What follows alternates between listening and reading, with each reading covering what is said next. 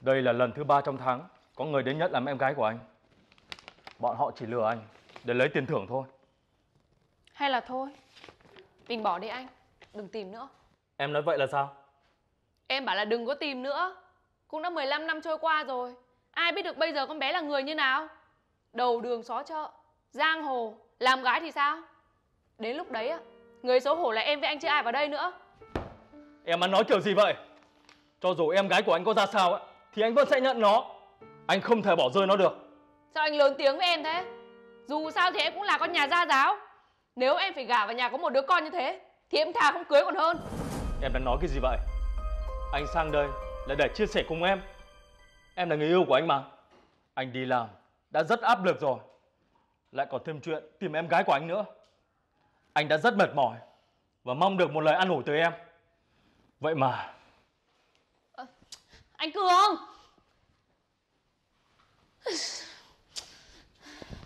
Của cô đây ạ. À, Tao bảo mày mang ái công nước ra. Mày làm cái gì mà lâu thế? Người yêu của tao về rồi Thì mày mang ra làm cái gì nữa? Mày muốn tao phải điên lên đúng không? Thưa cô chủ Em không dám ạ. Hôm nay là ngày đầu tiên em đi làm. Mong cô chủ bỏ qua cho em ạ. Mày là cái đồ nghèo hèn Bẩn thỉu Được hầu hạ cho tao Là may mắn lắm rồi. Nên đừng có giả vờ tội nghiệp nữa. Mày có tin tao cho mày một trận không? Dạ Em xin lỗi cô chủ ạ. Mong cô chủ bỏ qua. Mày đi vào trong dọn dẹp đi. Hôm nay tao đang có chuyện không vui. Đừng có làm bất cứ điều gì khiến tao điên lên. Dạ vâng ạ. Nhanh cái chân lên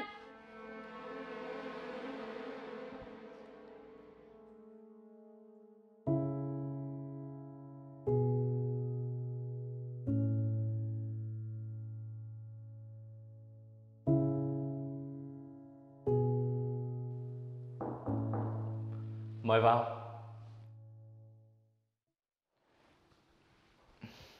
Thưa Chủ tịch, tôi đã giải quyết hết bọn lừa đảo, nhận vơ làm em gái Chủ tịch rồi ạ. Vậy là tốt rồi. Tôi thấy những người này thật quá đáng. Tôi muốn họ phải trả giá vì đã đổ cợt với tôi. Bây giờ Chủ tịch định tính thế nào ạ? Tôi vẫn sẽ tiếp tục tìm. Là do tôi làm lạc mất con bé. Nên tôi sẽ vẫn tìm tới cùng. Nhưng mà tại sao Chủ tịch lại làm lạc mất em gái ạ? Hôm đó tôi cùng gia đình lên thành phố chơi.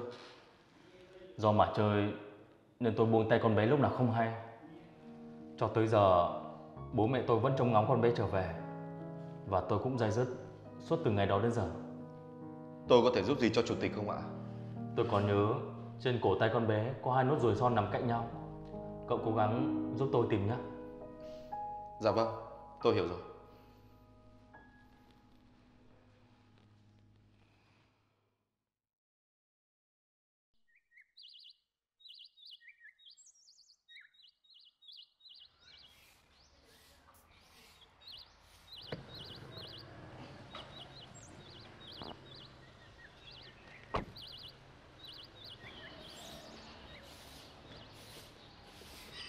Cô ơi, cho tôi hỏi.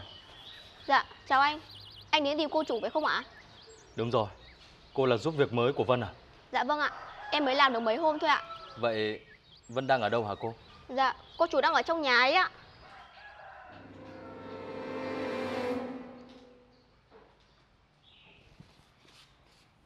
Sao cô lại có cái này?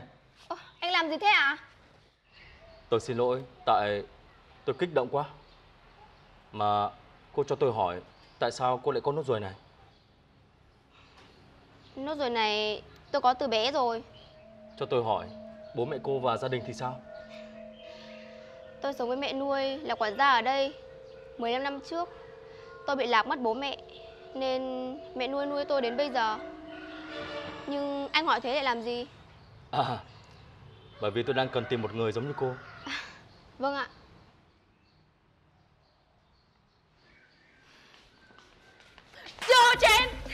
Mày là con ô xin Mà dám cười nói với chồng sắp cưới của tao à Mày định quyến rũ anh Cường đúng không Vân, em làm gì vậy?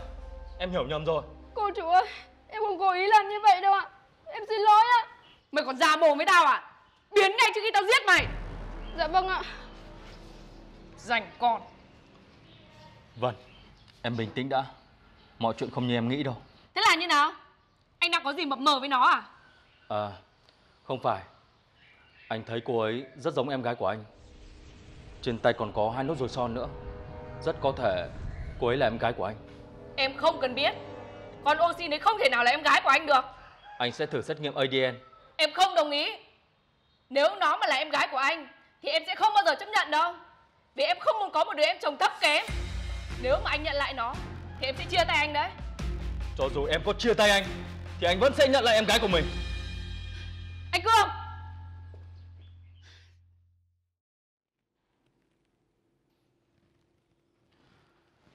Cậu nhìn xem, có giống mẹ tôi không? Rất giống ạ. Người này là ai vậy chủ tịch? Là người giúp việc của Vân đấy. Tôi nghi ngờ cô ấy là em ruột của mình. Tôi sẽ lập tức đi tìm cô ta để lấy mẫu xét nghiệm ADN ạ. Không, tôi sẽ tự đi. Vâng, thưa chủ tịch.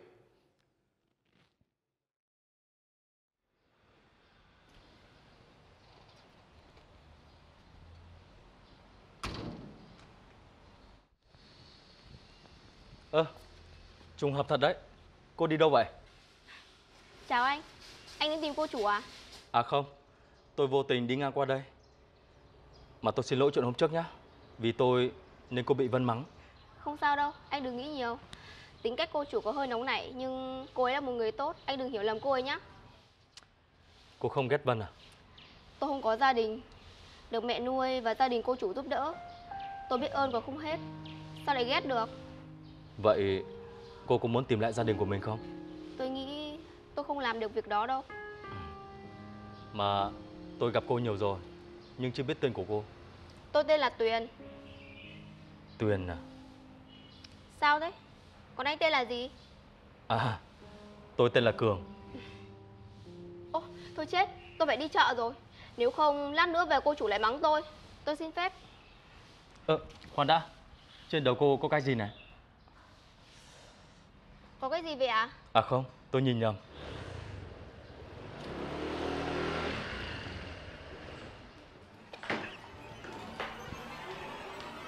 Con mặt dày này! Tao đã cảnh cáo mày rồi. Tại sao mày vẫn lì lợm thế? Hả? Cô chủ ơi, em với anh Cường chỉ đã vô tình gặp nhau thôi. Không có ý gì hết đâu ạ. Cái gì? Mày còn biết cả tên của người yêu tao cơ á? Vân, bình tĩnh đi. Mọi chuyện không như em nghĩ đâu.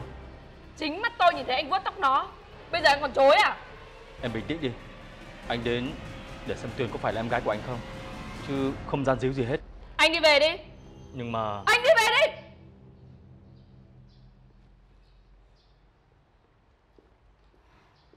Con Tuyền, đi vào trong nhà. Tao sẽ cho mày biết thế nào là ve vãn người yêu tao. Cô chủ,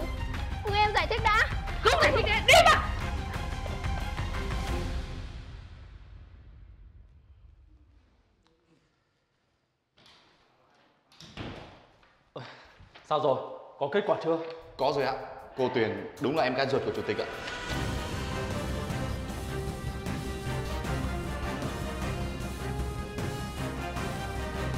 Đúng rồi. Đúng là em gái của tôi rồi.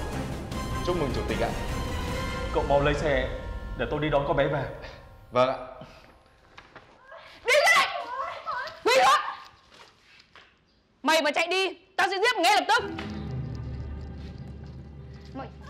Mày... Mày... Làm sao? Hôm nay tao sẽ cho mày biết hậu quả của việc tơ tưởng đến người yêu của tao. Mày nên nhớ, mày chỉ là một con hầu thôi. Cô chủ ơi, cô chủ tha cho em đi ạ. Em lạnh lắm rồi ạ. Em xin lỗi ạ. Lạnh á? Kệ mày Loại nghèo hèn như mày Muốn quyến rũ anh Cường để một bước lên tiên đúng không? Tao lạ gì cái mặt mày nữa Không có đâu Cô chủ đừng xúc phạm em như thế. Em nhịn đủ rồi. Tất cả chỉ là hiểu lầm thôi. Hiểu lầm á Tao nói cho mày biết Anh Cường là của tao Mày biết chưa Dạ vâng, em xin lỗi ạ. Nếu như hắn không phải là chủ tịch Thì tao cũng nhường cho mày lâu rồi Và tao cũng không phí công cho người đến phá hắn Không cho hắn tìm em gái làm gì cả Và tất cả tài sản của thằng Cường Phải là của tao Mày hiểu chưa Cô thật sự quá độc ác. Thế thì tốt. Tao cảnh cáo mày Cấm được lại gần thằng Cường. Không thì tao sẽ trút giận lên mẹ nuôi của mày đấy. Ơ, con- Cô đừng có động đến mẹ của tôi! Tao sẽ cho mẹ mày biết Hậu quả của việc không biết dạy dỗ con cái là như thế nào.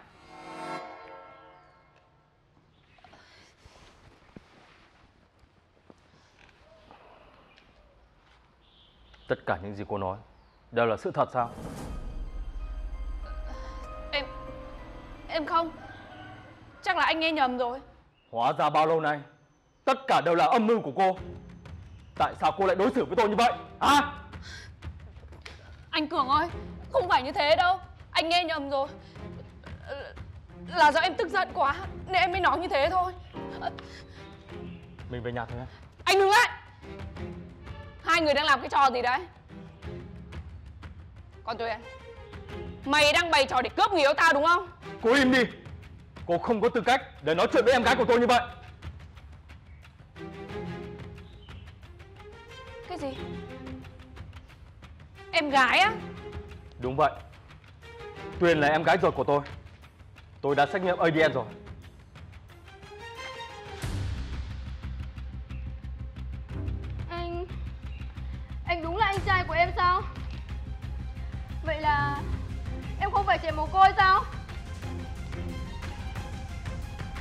Vậy. Em là em gái của anh. Em về nhà với anh nhé. Không Con người hầu này không thể nào là em gái của anh được Em sẽ không bao giờ chấp nhận nó Cô chấp nhận hay không thì tôi không quan tâm nữa. Tôi sẽ hủy hôn.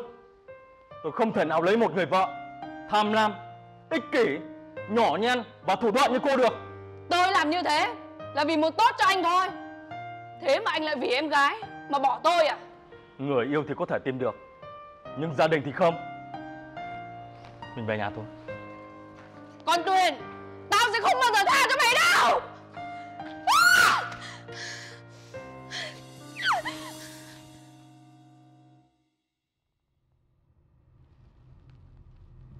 Anh Đúng là anh trai của em thật sao ạ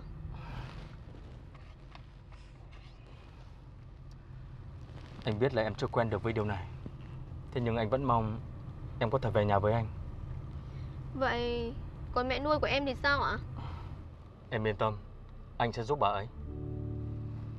Anh xin lỗi vì bao nhiêu năm qua đã không tìm em sớm hơn. Để em phải chịu khổ rồi. Đây là chuyện của ai mong muốn đâu anh Bố mẹ đang chờ chúng ta ở nhà đấy.